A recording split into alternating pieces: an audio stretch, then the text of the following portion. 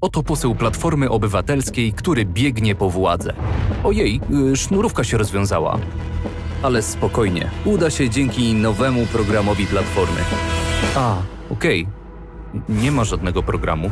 To może tak. Unia musi albo nałożyć dzienne kary finansowe, albo wstrzymywać finansowanie. To jest okropne, co ja mówię i ja to mówię o moim kraju. Teraz głównie zajmują się tłamszeniem Polskiego Ładu.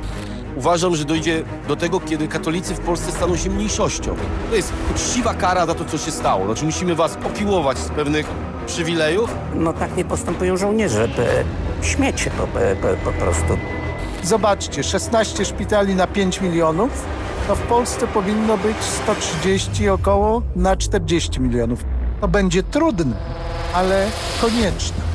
Dziękuję, to było naprawdę szczere. Program Platformy Obywatelskiej? Po prostu pozwólmy im mówić.